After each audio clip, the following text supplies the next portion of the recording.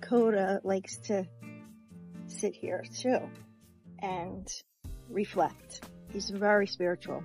I didn't realize how much we have a say in our life.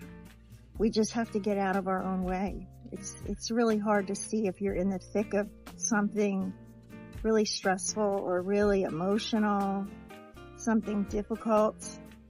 I know when I was going through anything like that, I would not, I did not see clearly that, that things didn't have to stay that way for a while. It took me a long time for the realization to like fully come through 100% to know it's safe to take a different approach and put myself in the driver's seat instead of just living in the defense, living in reactive mode, which that's, that's kind of the default if you're going through something because that doesn't take a lot of extra effort.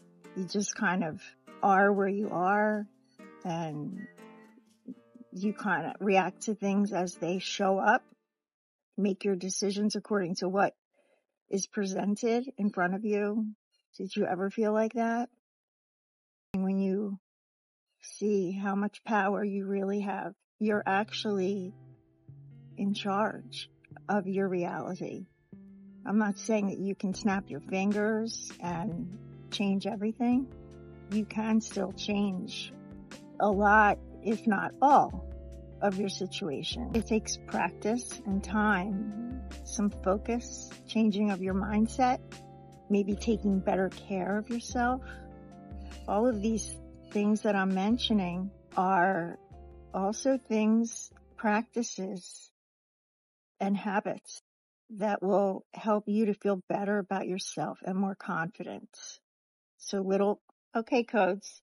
So little by little, you will, you'll be more and more convinced of how much in charge you really are.